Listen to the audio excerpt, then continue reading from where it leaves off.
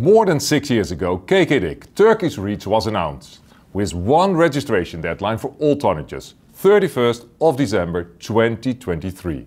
With only a few weeks to go, it's time to benefit from lessons learned by industry in implementing KKDIK so far.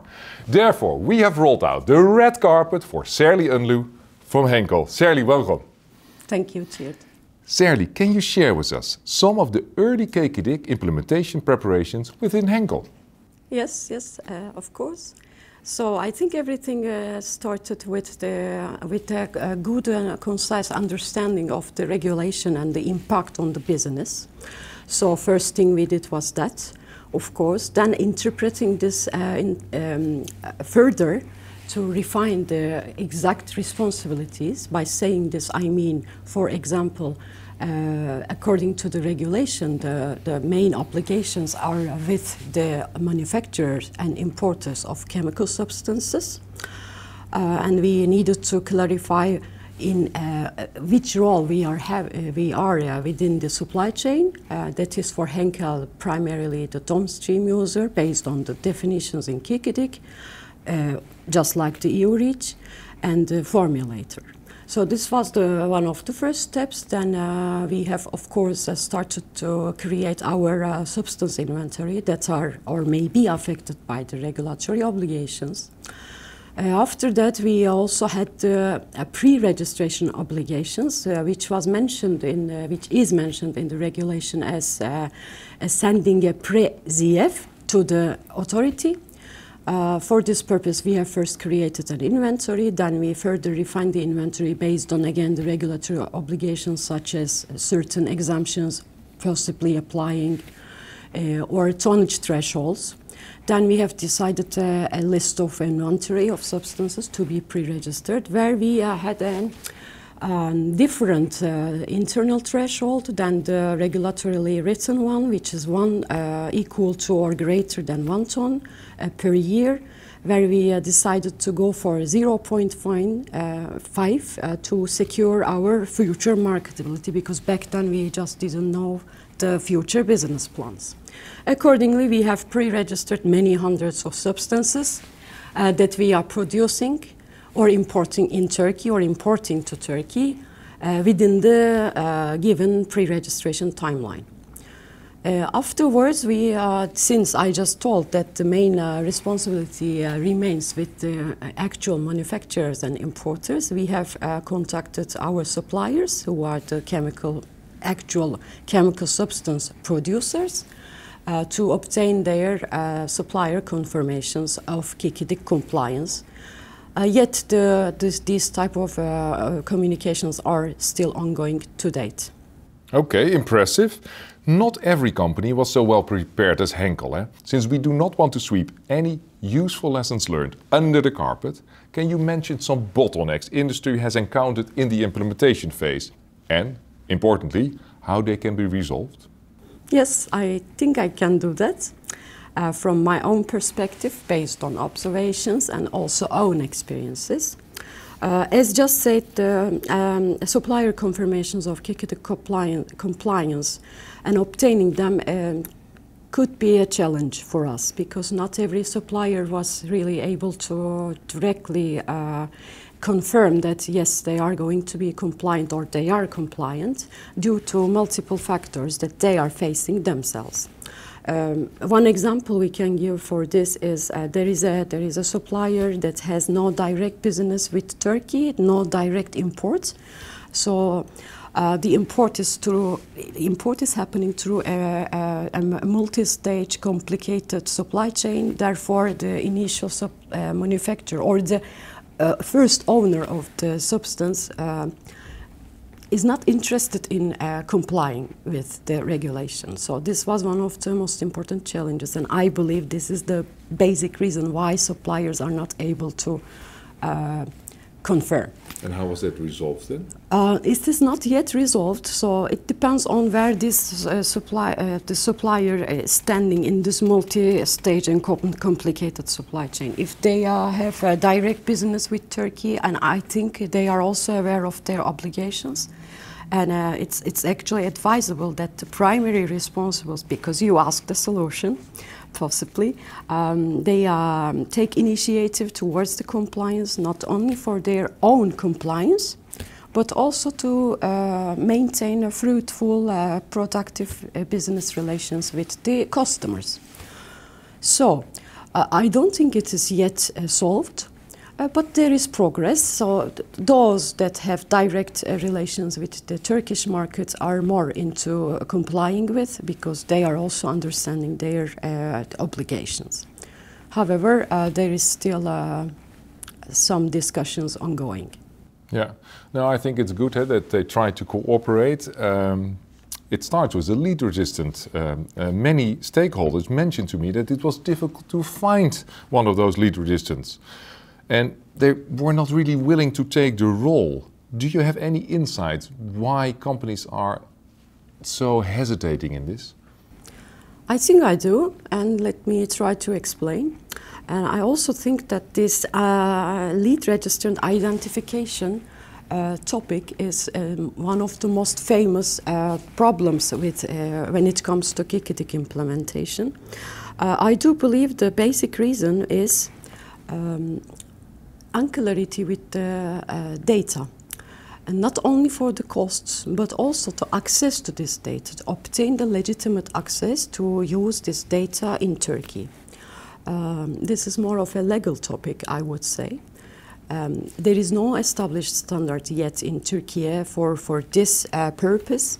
And I believe um, the relevant partners, the companies, uh, are um, hesitating because um, nobody wants to set the uh, first price uh, and decide or, or shape the market price. You know, everybody is uh, waiting for each other. Yeah. Indeed, as you say, it, it, it's a challenge. It's a big marketplace with, with several stakeholders, and uh, uh, the data availability and the access to the data is, is, is, a huge challenge. Especially the cost sharing and the concern that data shared for KKDIK eh, that will find its other way, uh, its way to other regions eh, that can cause the fear for blood on the carpet. What kind of data sharing concerns did you encounter, and maybe even more important, what kind of smart solutions have you seen? Uh, we are waiting on hold. Uh, I do believe one of the main reasons is the, uh, the EU data uh, is, is, is uh, owned by EU. Of by course, EU companies, by EU yeah, companies. consortia. Yeah, it, it, just generally speaking, or consortia, consortia or non-consortia data owners, let's say. And uh, the uh, paperwork around this, all the data sharing agreements, uh, uh, all type of other agreements around this are designed for the EU that uh, requires a, a, a, rework to make it uh, Turkey specific in, in terms of legal texts. This is also causing uh, a delay. Uh, there are certain consortia who are already active, very rare I would say, based on my own experience, we are also active. Henkel is also uh, actively working in certain consortia where Henkel was uh, the EU lead for the, those substances. So we are uh, again intending to take the lead position in Turkey. Therefore, we are active, and we are also uh, seeing the, the, the, the, progress in this consortia is very slow due to these problems that I just explained. The, the, the texts, the legal texts needs to be translated, etc. Not to mention the, the, the cost uh, clarification. No, I think uh, that indeed the cost, as you mentioned, uh, uh, Turkey is a, is a small market relatively compared to the EU, and the value of the data doesn't change, but what are the data owners willing uh, to give as a discount because it's in a, used in a smaller market? I think that's, that's an essential question, and people don't know. Yeah. They're debating, and it's also sometimes yeah, as good as it gets uh, for, for them. Uh, and the other fear that they have is that uh, uh the data that are put on the Turkish market uh, might go elsewhere or uh, that new data that is generated in the EU afterwards should also be taken into account then in, on the Turkish market. Uh, so that, that is the legal concerns that you address, I think that are very valid. We need to translate the whole data after obtaining it legitimately. Then we need to interpret this data correctly by the experts to be used in the uh, registration dossiers. This is a costly, not only uh, in terms of finances, but also time-wise process. And we know that uh, the number of uh, the experts who, who can translate this data is also not uh, so abundant in, in Turkey.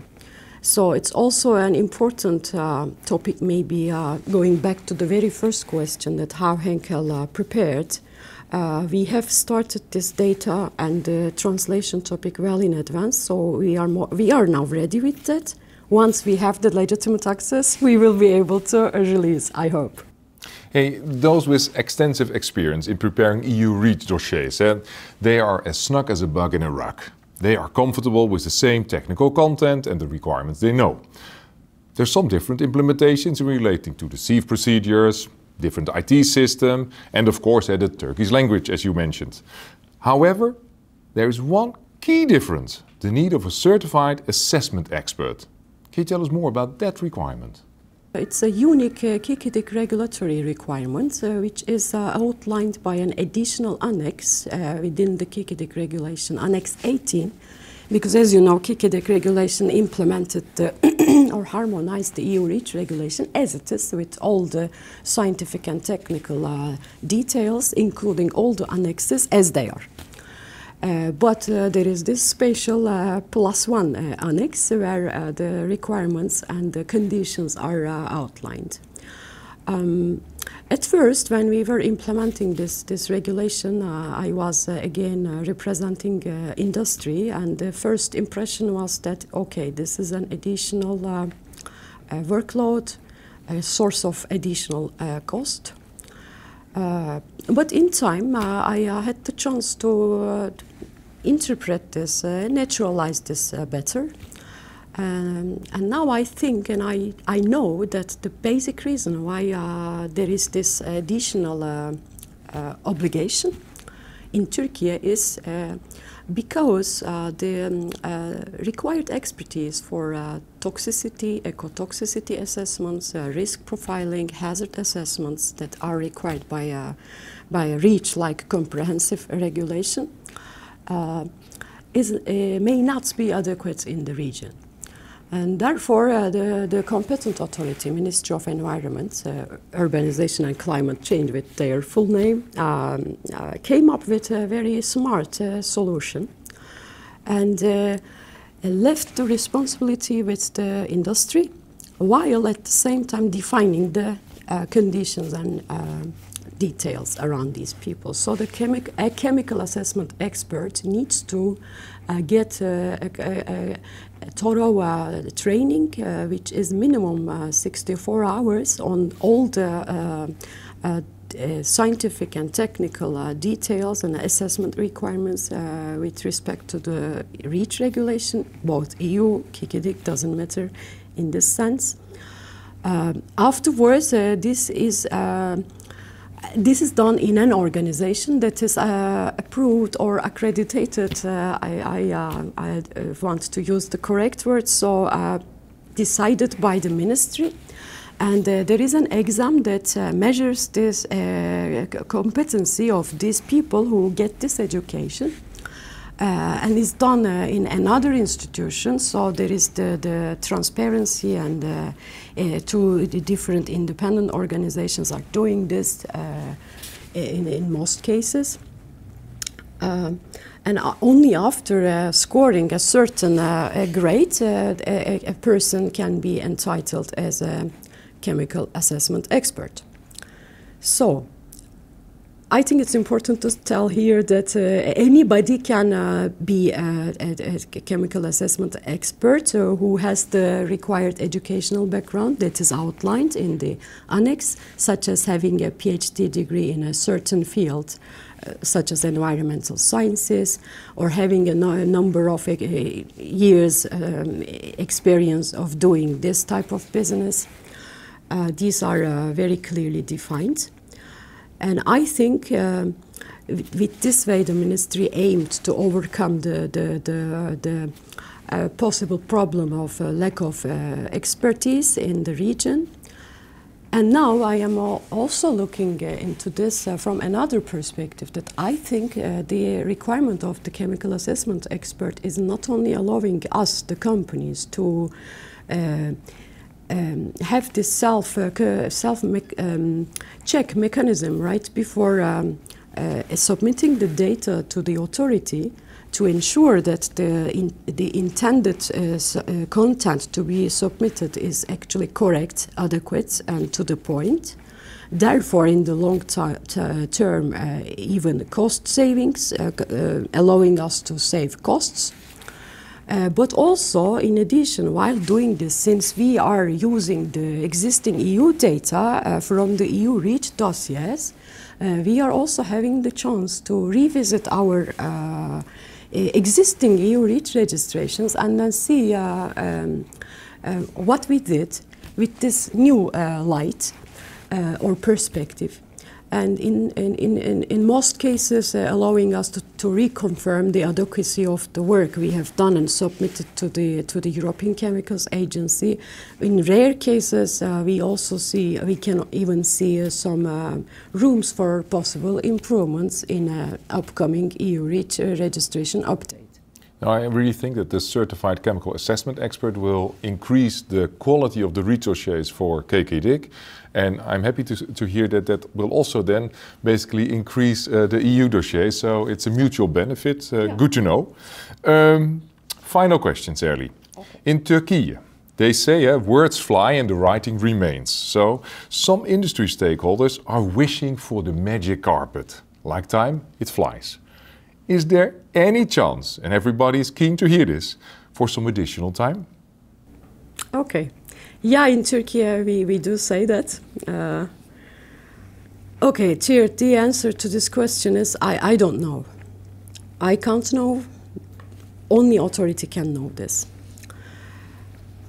Uh, but what we know is uh, that um, there have been some uh, some um, efforts in collaborative efforts with the ministry and the industry associations, or, or the industry via the industry associations or other relevant stakeholders um, on this topic uh, to um, uh, find a fast consensus.